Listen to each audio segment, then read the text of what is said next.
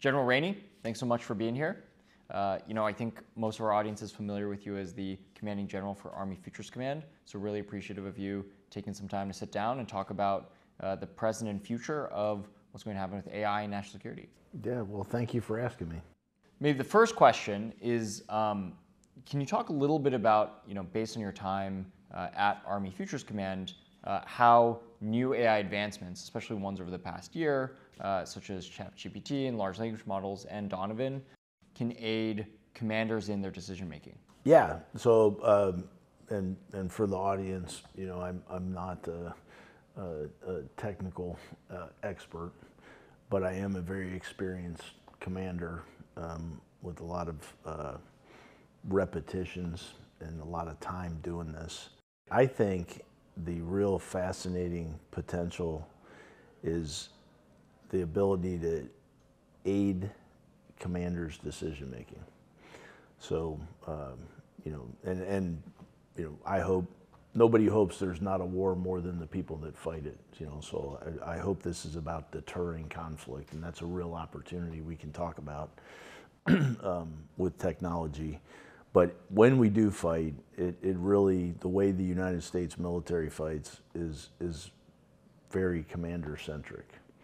So the ability of our commanders to make more decisions, better decisions, and faster decisions provides a thing called uh, decision advantage.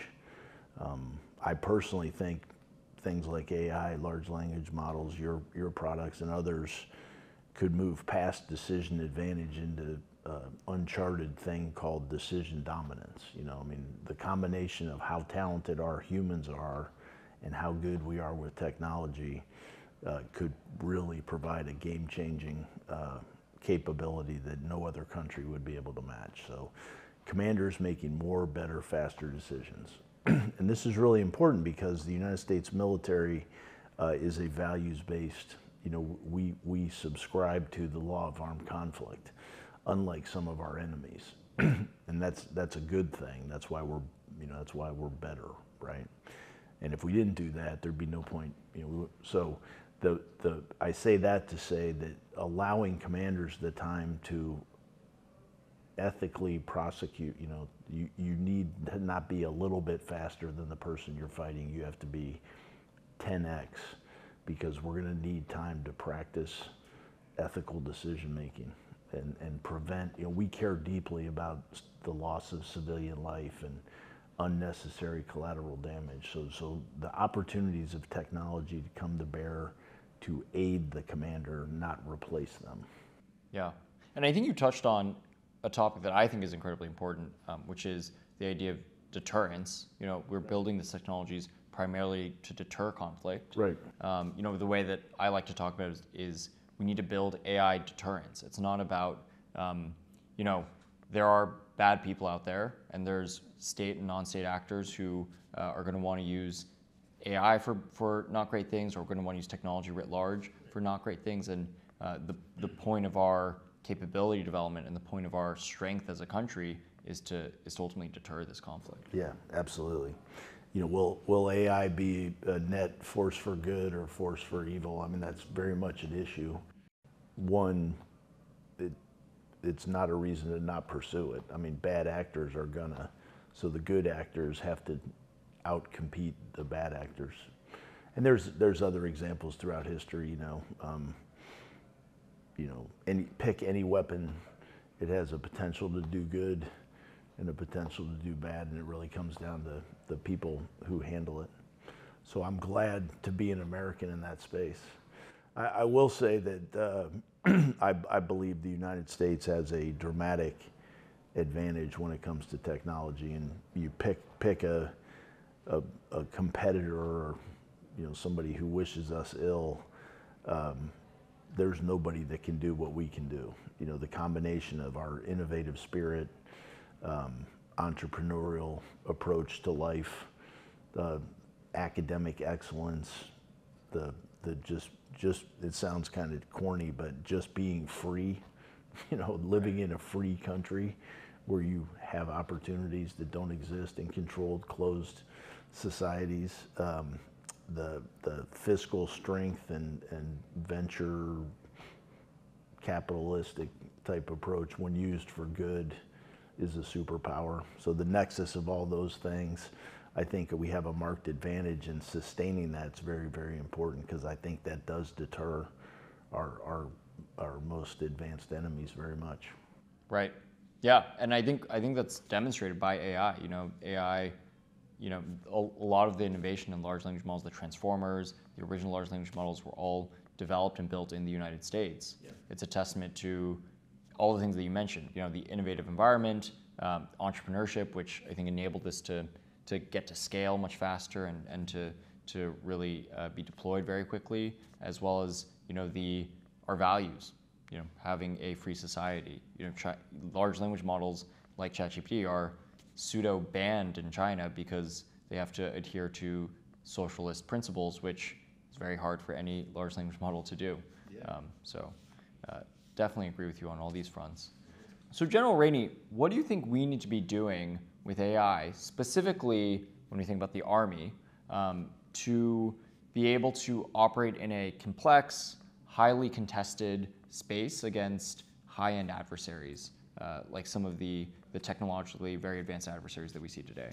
Yeah. Um, again, not, not being an expert at, at the technical aspects of it, um, I, the biggest thing, Alex, to be honest with you, is I, I feel like we need to translate theoretical and possible into genuine capability in our formations. So there are a lot of things we think we can do. There's things we know we can do. There's things you and other great companies like yours have indisputably proven can be done, um, but they're not they're not integrated into our Army, Air Force, Navy. You know, they're not a capability the commander has if he or she were to end up in conflict this weekend. So closing that delivery uh, window and, and operating at the speed of relevance in terms of inventing something, turning it into a capability, learning. And you know, as I've studied, you know, your industry, it, it's really the, I, the way the way uh, you all approach a min viable product. You know, hey, if it's if it's good enough, get it out there. You know, three years later, you're going to be embarrassed by what you put out this year. You know, you know what I mean? Like that kind of culture that you have. But until we start using it, you're not going to realize the potential. I spend a lot of time, and they're all listen. There's no bad people in the process. You know, it's it's just a giant bureaucracy that that is hard to drive change. But but uh, you know we we can't take five years, ten years. We can't have programs of record. You know that that makes sense if you're building a new helicopter or a new tank, but that is not the way to approach technology. So. Um, it starts with uh, writing better requirements, which is my, you know, I'm, I'm accountable for that for the Army. Um, we got to quit asking you for specific things and ask you for a cap. You know, the better I can right. do describing the capability I want, uh, and less prescriptive, the better product we get back. Right. Um, we have great acquisition people and we have all the acquisition authorities we need, but we need to innovate in how we do acquisition, just like we're innovating in technology. Um, we have great contracting folks that can put things on contract. Uh, they've demonstrated, you know, if you look at Ukraine, you know, if, if we want to go fast in contracting, we can go fast. So we got to think about that. You know, do we have enough contractors? Are they in the right place to go at the speed of relevance?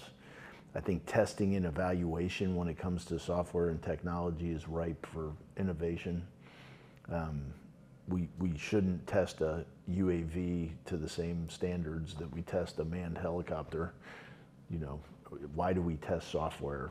You know, there, I mean, like, there's probably a make sure it does what we're paying you to do kind of testing, but it doesn't need to fall into this right. life, limb, and eyesight type. You know, it's not going to hurt anybody. Uh, I mean, I guess it could technically, but you know, it's, it, it's we have to innovate in the test and evaluation space, and yeah. um, I, I think the real potential bringing companies together that optimizes the best. You know, we don't, we don't, we the Army, we the government don't want to have to pick between a great company like yours and two or three other ones. We got to figure out how to build consortiums that optimize the best. You know, you guys can compete in the commercial sector. That's your business. But but can we, in the interest of national security, bring you guys in a way that's Right. profitable and sustainable, but but optimizes the best of all these great American companies. Right. So that's a you know, that's a, that's a lot, and that's a big uh, you know it takes a big healthy dose of optimism every day. But but I believe we can do that.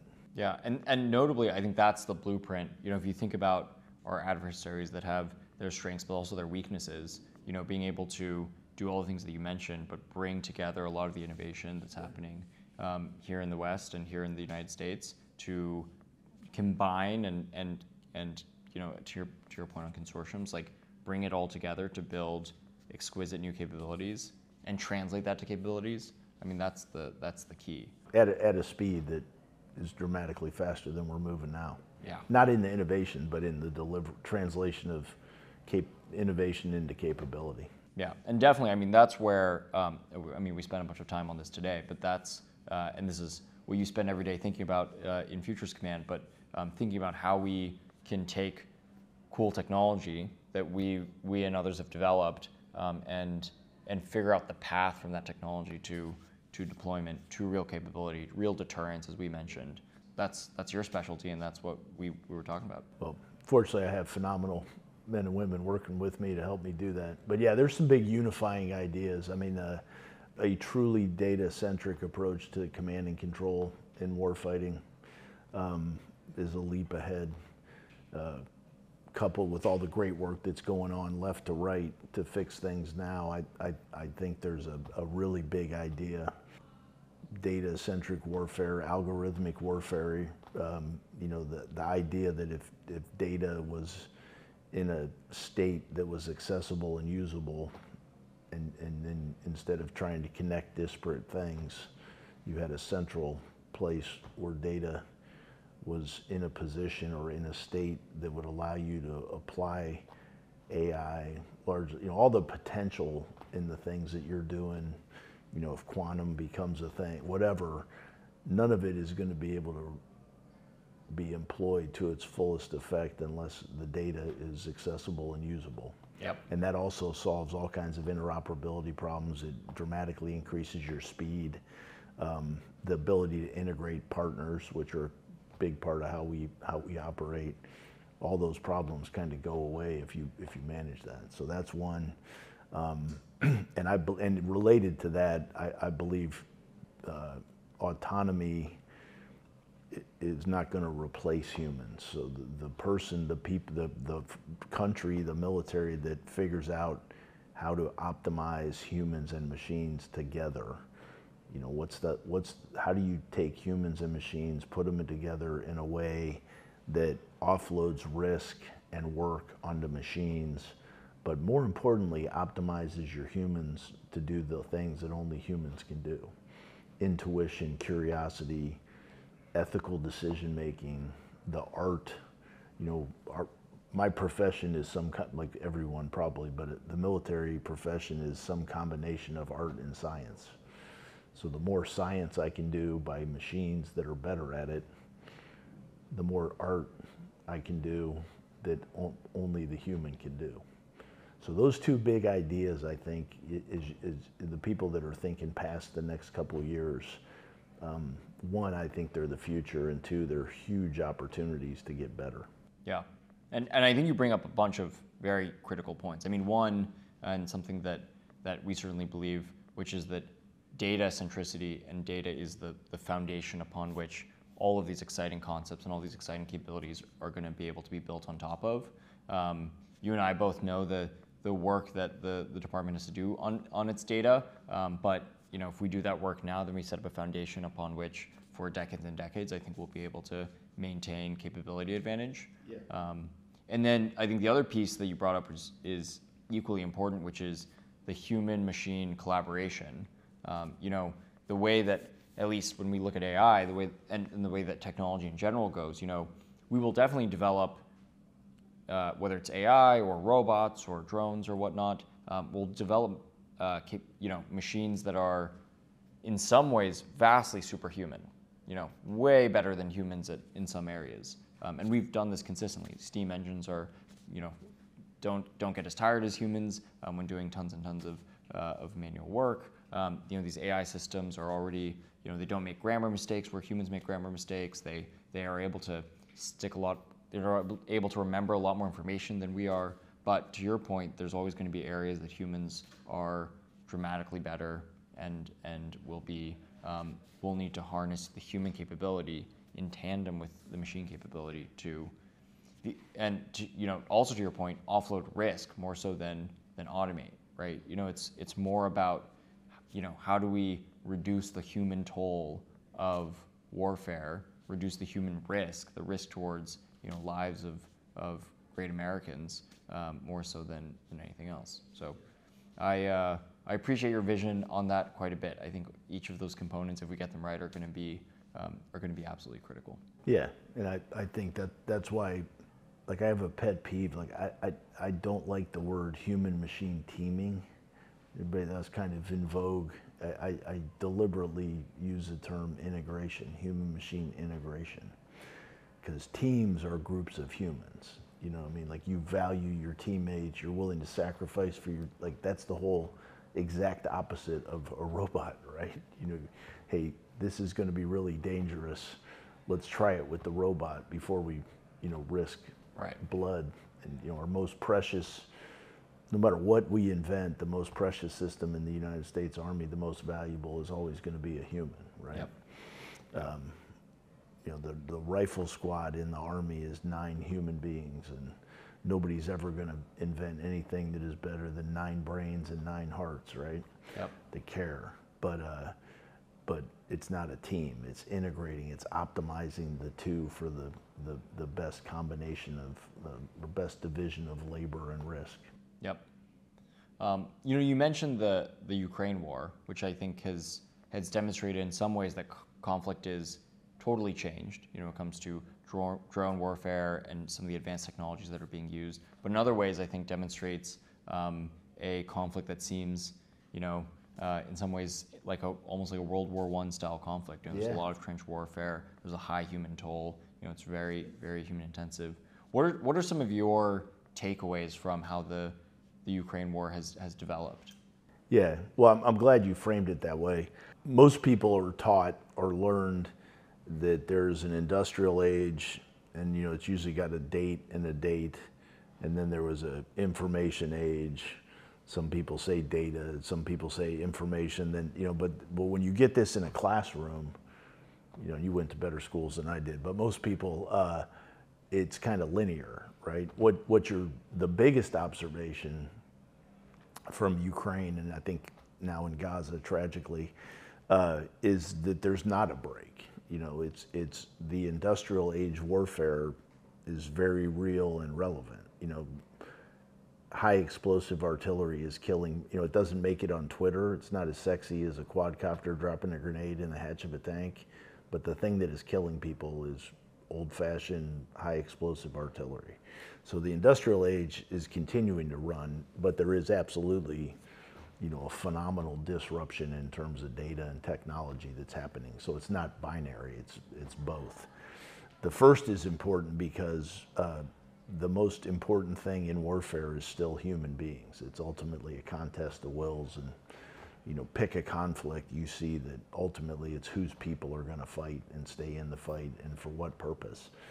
And uh, and that land warfare, despite you know space, cyber, exponential explosion in that space, precision weapons, um, everything still come. Every capability we have is dependent on controlling the land. So those kind of industrial concepts are not going to. So when I talk about the future, I usually start with what's not going to change. You know, people are going to stay primary. The land's always going to matter.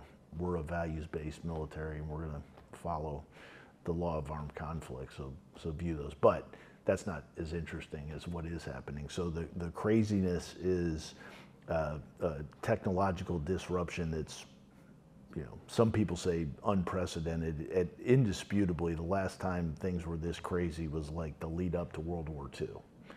You know, when things were this uncertain people were inventing things like combustible engines, airplanes, and radios. You know Yep. what I mean? If you're a student of history, it's crazy. Yeah. Um, and that was three things that, ha- that disrupted warfare, but we had 30 or 40 years to figure it out, right? That disruption is, is, is happening now, but it's going to happen again next. You know, it's like every six months, every year. You know, the war in Ukraine has seen like four major evolutions in unmanned aerial systems inside. You know, it's it's crazy. Yeah. So nobody's going to figure it out. It's going to be about the ability to learn and adapt faster. So the adaptability is a characteristic, and adoption of technology is more important than inventing. So who can see something happen, learn from it, and then translate it into capability uh, is is the real challenge. But so. Uh, uh, the the battlefield of now and certainly in the future is going to be uh, swept by an array of sensors that's that's going to make it you know you're, you're going to operate under constant observation of some kind um, that coupled with uh, precision guided munitions Right. and in the case of China, magazine depth, you know, the amount, just the sheer amount of munitions they have is going to confront our commanders in, you know, with air, sea, maritime, land. Uh, we're going to have to fight by fight somebody who can see us and can hit us.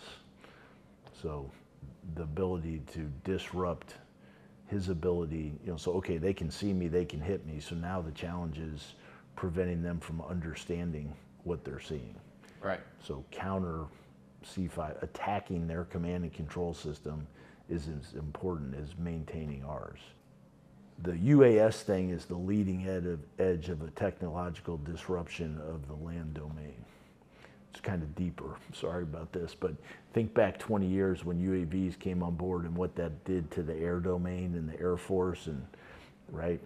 Uh, five, ten years ago, that same disruption started happening in the maritime. You know, com- commercially before military, but now unmanned surface and subsurface ships, whether you're talking about offensively or counter mine or logistically, that's a thing. The land domain is the last because of the laws of physics. Yep. You know, back to things that probably aren't going to change. I would put the laws of physics in the probably not going to change category, although I, I, you know, wouldn't say anything definitively. But uh, so it's just harder. You know, we have rivers, we have hills, we have mud. You know, it's the most difficult place for technology to be employed. But we're absolutely, you know, the kind of things your company's doing, other companies are doing. We, we technology is advanced to the point where it can have that same disruptive effect on the land. And whoever figures that out and brings it to bear first is going to have a dramatic advantage. Right, hundred percent. And and I think you touched on um, a few key components, which is you know the the sensing capability over the past few decades. I think has just dramatically dramatically improved, which is part of you know ties back to one of the previous things we are saying. One of the key things is you know you have all the sensing capability. Make sure that your data pipelines are such that you can make use of that and actually use that to your advantage. But it, it also ties to one thing that um, we've talked about in the past, uh, which is um, you know when you when we think about command and control systems, you know when when we've talked about um, even earlier in this conversation about the uh, American approach, it's to uh, aid and enhance existing commanders, whereas um, you know there's there's certainly reports from uh, the PLA and the CCP that talk about how they want to build you know, fully automated command and control systems, and they're trying to use AI to to take the commander out of the process and out of the loop. Yeah. You know, I'm, I'm curious what your thoughts are on that that dichotomy and that difference. Yeah. Um, our, I said, our biggest strength in the United States Army, the United States military, is our humans. You know, we're an all volunteer force. We have a non commissioned officer corps, empowered sergeants that everybody in the world wishes they had. We have more and better leaders. We put more leaders into a formation than anybody else, and they're better than anybody else's. And then they all bubble up 16 to 20 years later, 30 years later, you have a commander who has so much experience and talent and education. Those are real advantages. So why would you take that if you're the, if you're us? It, why would you take that person out of the process? So it's 100% about optimizing that commander's ability to make decisions. Uh, if you didn't have good people, or you were worried about your people doing what they're told, uh, it would be logical to just wait for the screen to tell them where to go. And that creates all kinds of vulnerabilities that'll work to our advantage, I think.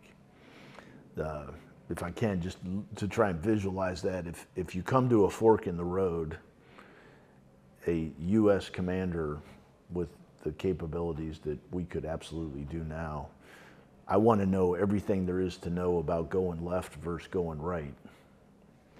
Tell me, you know, tell me what the terrain's like. Tell me, you know, in the past, who has done the left and who's done the right and why and how did it work out and, uh, you know, task a, a million sensors and tell me everything there is to know.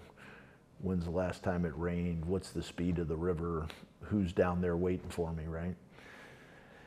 But I'm going to make that decision. Uh, if you're going with the other approach, if you come to that fork in the road and you're able to disrupt that command and control system even a little bit, or better yet, inject some confusion to it, the enemy's going to sit at that fork in the road waiting to be told which way to go. We're probably going to see them waiting and kill them there, but they're certainly going to be slower. Um, our commander is going to come to that road, and, and if the computer tells him, hey, Jim, 97% says you should go left, I would probably say, yeah, if it's that obvious, they're going to expect that, so I'm going to go right. You know, just intuition, instincts, repetition, you know, the art. Um, you can't write code for that. You know what I mean? So I think our approach is much better. Right.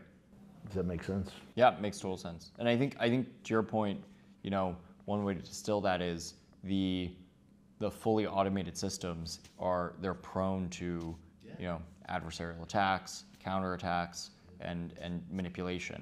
Uh, and the the the integrated approach, let's say, is one that that enables us to be nimble and enables us to use our greatest advantage. Commander aided decision. Now that's going to take a bunch. It's not that simple. It's going to take a bunch of education. There are cases where we have we have some people in the military in the army, younger people that are both incredibly tech savvy and really good at fighting, uh, but it's not a it's not a common overlap. So there's a big part of our leader development and education where we need to take our commanders on this journey with us so that they know how to ask questions in a manner that lets the technical experts leverage what they know. So it's it's it's it's not just as simple as I might have made it sound, you know. Knowing how to ask your staff a question in a way that lets them go into a large language model and deliver it. Yep. You know that that's my short experience with things like what you're doing is it, it almost comes down to can you ask a good question yeah the adaptability is key that's kind of as we've i was playing about. around you know earlier like what didn't i ask you that i should have that's a good prompt you know give, give me a return on that one that that's kind of exciting to me also. Yeah.